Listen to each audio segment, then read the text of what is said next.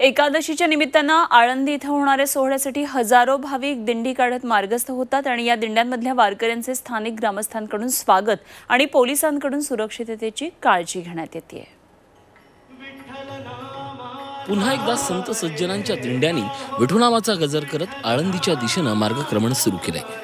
एकादशी निमित्तानं श्री क्षेत्र आळंदी येथे होणाऱ्या सोहळ्यात सहभागी होण्यासाठी नाशिक पुणे महामार्गावरून दरवर्षी या महिन्यात राज्यातील नगर नाशिक धुळे जळगाव या जिल्ह्यातील हजारो भाविकांच्या दिंड्या मार्गस्थ होतात.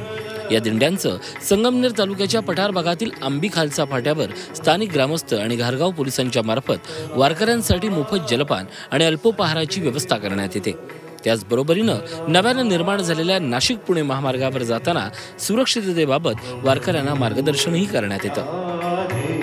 वैयक्तिक बाबतीत की जी ज्या ठिकाणी सर्व्हिस रोड आहे त्या ठिकाणी सर्व्हिस रोडचा वापर करावा. आणि ज्या ठिकाणी हायवेला जायचं असेल तर त्या कडेची जी पट्टी आहे त्याच्या साईडने चालावं. आपल्या ज्या वा प्रत्येक दिंडीचे चोपदार असतील किंवा तरुण मंडळी त्या दिंडीत जे असतील त्यांनी हायवेवरून चालत असताना सर्वांना एक नियोजनबद्ध चालणं रस्त्यावर कुणी न जाणं मध्य डिवायडरकडे न जाणं या दृष्टीने सगळ्यांनी काळजी घ्यावी.